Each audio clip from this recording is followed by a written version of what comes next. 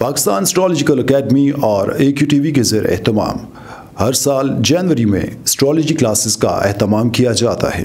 आप दुनिया भर में कहीं भी मुकीम हो, इन क्लासेस का हिस्सा बन सकते हैं। ए क्यू जेमस्टोन्स असली मुस्तनद और मयारी जेमस्टोन्स का बातमाद इदारा।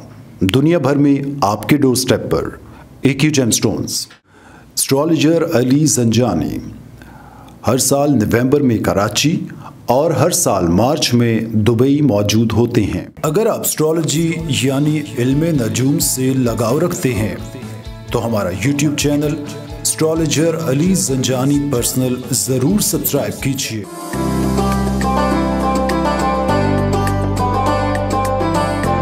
बिसमीम मोहम्मद वाल मोहम्मद। अस्सलाम जॉडिक कंपैटिबिलिटी के साथ आप लोग की खिदमत में हाज़िर हूँ और इस प्रोग्राम के अंदर मैं आप लोग के साथ डिस्कस करता हूँ। एक कपल के हवाले से अगर कोई एक मेल है, दूसरा फ़ीमेल है अपने जॉडिक साइन की रोशनी में तो ये कंपैटिबिलिटी कैसी होती है? आज हमने गुफ्तु करनी है कि अगर एक कैंसर मेल हो और दूसरा एरीज़ फ़ीमेल हो तो ये दोनों एक दूसरे के साथ क्या बर्ताव करेंगे, क्या सलूक करेंगे?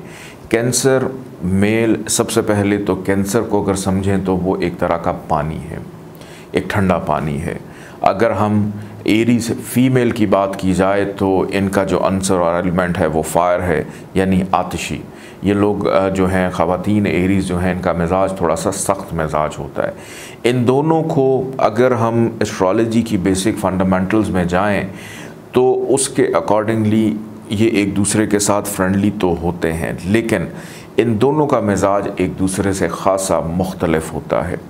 क्यों मुख्तलफ होता है कि एरीज़ मेल धीमा मिजाज रखने की वजह से अपनी फैमिली अपने ताल्लुक़, अपने रिलेशन के ख़त्म होने की वजह से सारी ज़िंदगी इस डर और खौफ में मुबतला रहते हैं कि कहीं इनसे कोई ऐसी गलती कोताही ना हो जाए कि इनका जीवन साथी इनको छोड़कर चला जाए। अगर कैंसर मेल अपने अंदर ये एहसास रखता है तो इसके साथ अगर हम एरीज़ फ़ीमेल को देखें तो एरीज़ फ़ीमेल के अंदर हमेशा इनकी पर्सनालिटी थोड़ी सी प्रोमिनेंट होती है। कि ये अपने घर में, अपनी फैमिली में, अपने ख़ानदान में और ख़ास तौर पे अपने इस रिलेशन में नुमाया मुकाम रखना चाहती हैं कि हम जो कहते हैं, हमारी बात को माना जाए, हमारी बात को टोका ना जाए। कैंसर की बेचैनी और एरीज़ की जो है हौसला मंदी ये दोनों कई दफ़ा एक भयानक फ्यूचर की तरफ़ भी जा सकते हैं। सबसे पहली बात तो ये कि अगर आप किसी भी ताल्लुक़ और रिलेशन का आगाज़ करने जा रहे हैं तो कोशिश करें कि आप एक नेक वक्त का तयन करवा कर फिर आगे अपने मामला को लेकर चलें।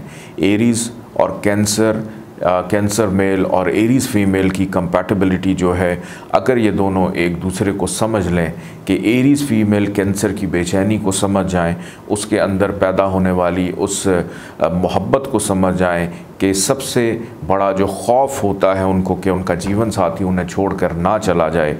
इसी डर और खौफ में मुबतला रहते हुए ये एरीज़ फ़ीमेल की खदमत करने की कोशिश करते हैं। और एरीज़ फ़ीमेल की अगर बात की जाए तो इनके अंदर मौजूद हौसला मंदी अगर उसकी पजीराई ना हो, अगर उसकी तारीफ़ ना हो तो फिर ये चीज़ इनको थोड़ी सी बुरी लगती है, जो कि कैंसर मेल वालों को समझना चाहिए। अगर इन दो चीज़ों को ये बेहतर अंदाज में समझ लें तो ये एक अच्छा कपल साबित हो सकता है। इजाज़त दीजिएगा। अल्लाह हाफिज़।